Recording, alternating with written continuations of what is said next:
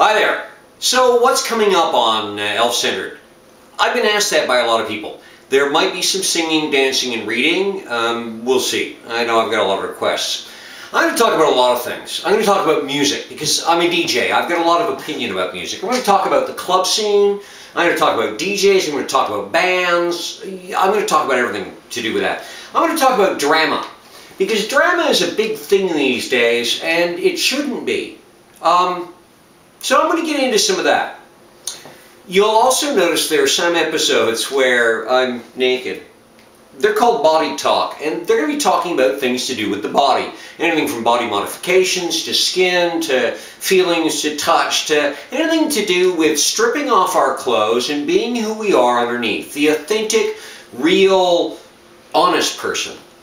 I'm going to talk about steampunk because I'm big into steampunk. I'm going to talk a lot about steampunk in various ways. I'm going to talk about gender. I'm a male. I'm going to talk about male things and female things. I'm going to talk about men's rights. Here's where we're going to get into arguments. I can see it already coming. You're going to get the pitchforks and the torches out. You know what? It still needs to be talked about. I'm going to talk about privilege because you keep using that word. You know the rest of the quote. I'm going to talk about colonialism because once again, there are many ways of looking at something, and you're all focusing on one specific tiny little slice. There are a lot of pieces in the loaf, boys and girls, ladies and gentlemen. I'm going to talk about the friend zone. It exists, and I'll prove it to you.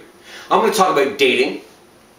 I've got a lot of experience under my belt. Weirdly, there are many people like me who we are not successful in the dating world, and yet we've done it we've experienced it, we've been there, we've traveled that place, we've adventured there, and the advice we give others works wonderfully.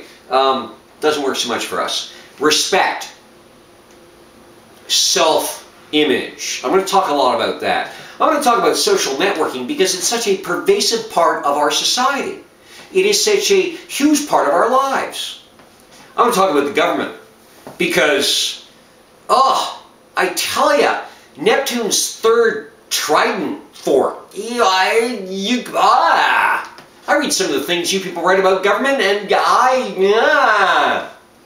I'm going to talk about responsibility because we don't take it these days, we give it. We point the finger. The buck doesn't stop here anymore. The buck gets passed on to someone else. You know what? I'd rather the buck stop here because then I got a buck and you don't. I'm going to talk about cultural appropriation, something that is incredibly misunderstood. I'm going to talk about egalitarianism because that's where I come from. Everybody should be given equal opportunity. That's some of the stuff I'm talking about. And you know what? Comments down below. Ask me what you want to hear about. My views, if it matters to you, and if you give a darn. Thanks for tuning in to uh, Elf Centered. Without you, I'd be some guy nattering at a wall and, you know,